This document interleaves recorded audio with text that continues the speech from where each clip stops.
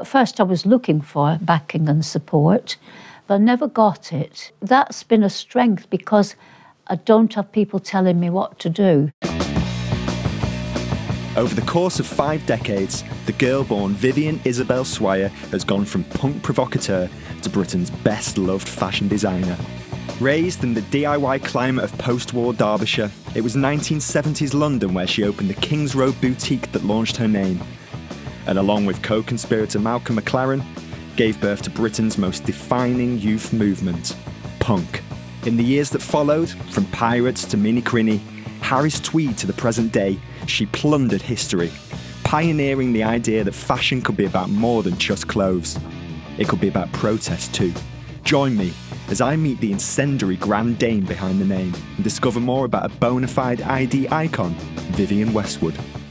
In the late 1950s, mm-hmm. at that time when youth culture was really coming into the fore, how aware were you of that? Well, when when um, I was 13, 14, you had this rock around the clock with Bill Haley, and all these teddy boys that were there were some in my village. We were there's, there's a Ted. They looked great, and um, you know they were overturning buses and ripping seats out, and we wanted some of it. Were these when the first seeds for Let It Rock were beginning to be sowed? Those ideas of, of no, being... no, it was all about you know getting a pencil skirt and all this stuff, these tight things, little velvet bopping shoes, high heels. Um, it's the most incredible time because it coincided completely with me being a kid turning into a, a woman. You know, that's how I was. You were seeing yourself. You were the most desired things on the planet at age 14 and 15. And there we were with, you know, making clothes. I started even then. And um, we, we, yeah, we were, we were the, where it was at. And so the first time around, that was rock and roll. I was there. And then when I met Malcolm later on, he was four years younger than me. So um, at a certain point, he wanted to rework the 50s. So I was, you know, I knew what to do.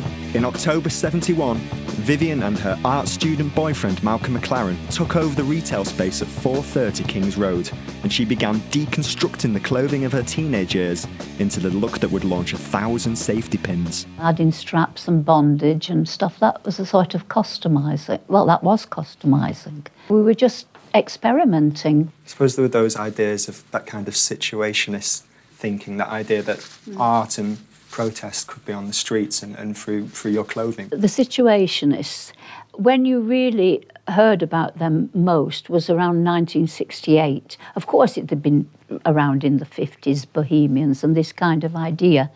And it really was that stupid lyrics of "We don't want no education." Uh, Pink Floyd, yeah. Um, I, I, I mean, I like the tune, but and, and the and the way they sang it and deal with it. That's really, uh, I mean, it's it's really good, but the lyrics are really awful. If you don't eat your meat, you can't have any pudding. Punk started in your boutique and then worked its mm. way outwards. It was mm-hmm. the fashion came before the music. Yeah. Well, um, yes, I, I, I think that's, well, I know that that's true. It's true, yeah. And it all coincided with, you know, Johnny Rotten and every, you know, they, they really believed in it all at that time. I had a big respect for Johnny Rotten then.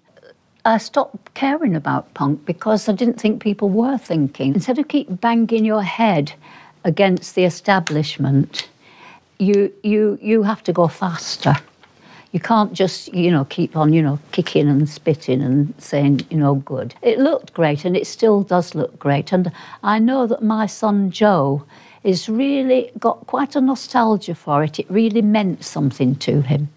And he thinks that it did mean a lot to people and it actually changed their lives. You know, they thought, yeah, I can start a magazine like Terry Jones, you know, or, you know, they, they really did. I can do something. For Vivienne, that doing something meant throwing herself into the world of high fashion, making her catwalk debut with the Third World inspired pirate collection in 1981.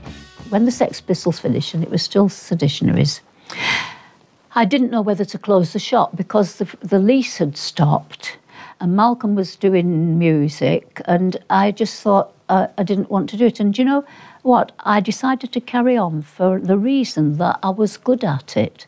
And I thought it was my duty to carry on and keep on doing it. It was World's End still. And I said to him, Well, you're right, Malcolm. Either I've got to help you in the music business because the Sex Pistols just gone, or we work together in the fashion business. We can't do both. Fashion every time, he said. He said, You've got to be the front of this fashion business. And he said, What you need to do is you need to do a catwalk show, and it should be under your own name. It should be under Vivienne Westwood. So um, I did. And I thought I'll do what other designers do. I started looking at history, French Revolution, you know, all those merveilleuses and these incroyables from the French Revolution. So it was the idea of let's plunder the world. That's how, how the clothes became the pirate idea, that we would get our ideas from history and from the third world. Mm. Yeah. And um, of course, we put that merveilleuse dress in, in, in the first pirate show. Throughout the decade, Vivienne's early notoriety quickly gave way to both critical and commercial success, and her collections, be it Hypnos or Clint Eastwood, Mini Crini or Harris Tweed, became imitated the world over. Did you know when things were going to be successful? I think you have to have that sixth sense, sense of what's going to sell. You know, when you do that little corset and it just gives this decollete that nobody's seen since 1800 you know, I mean, you you you uh, you just know you're onto something. You know, Sadie Frost, she was the first person to wear that on the catwalk, and the photographers just died. Come back, baby. They were, their eyes were crossed. They were just couldn't believe it. Yeah. Mm. Today, Vivienne Westwood occupies a singular space in British fashion, both much loved yet still provocatively outspoken. For your autumn winter 16 show, you had an idea and it was culture, not consumption. Mm-hmm. What did you mean by that? The 20th century was a mistake. It preached the idea of smashing the past. We call it iconoclasm. It's like telling a scientist to throw away his laboratory. You throw away all your technique, you throw away all the skills, you throw away all the people in the past who've been geniuses. You don't want to know about them because everything comes from you. We don't have any artists today. You know, they, they don't have any vision whatsoever. And that's why they're not artists. They're just in it for the money, kind of, and talking about themselves. It's, it's, if, they, if they do reflect the times, then it just shows how awful it is. And it's about ugliness if they are trying to do anything. But the idea that everybody can can be an artist is just mad. The only people who have any culture are the ones who don't throw away the past. With husband Andreas Kronthaler taking a more prominent role in the design of the brand, Vivienne spent an increasing amount of time championing the political issues that have come to define her work.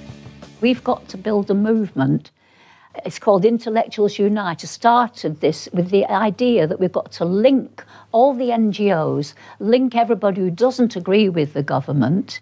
It's the only way we'll save ourselves. The great thing about intellectuals, though, is that it is inclusive.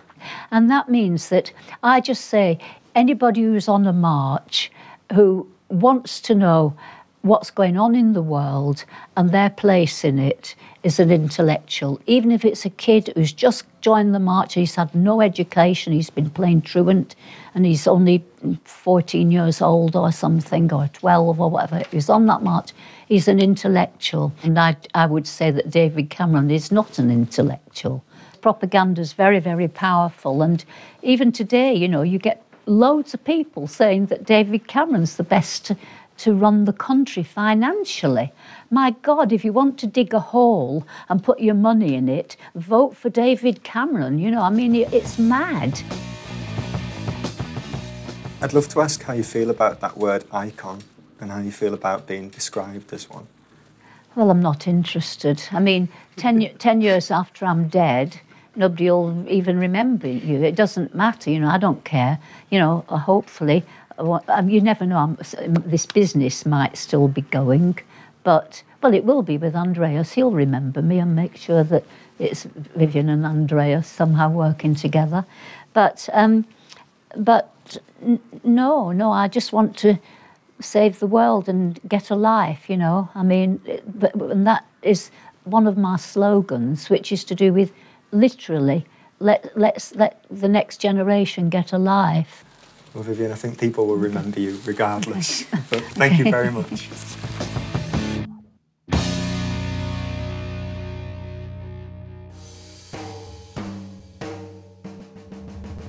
I always think of our clothes as being sensual and modern, but when you start showing the body, well, then you can have some fun.